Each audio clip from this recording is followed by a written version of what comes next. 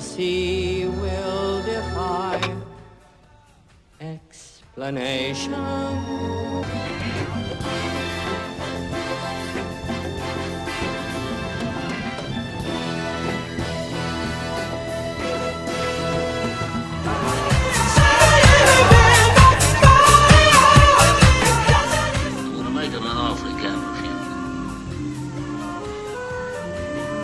That's my family.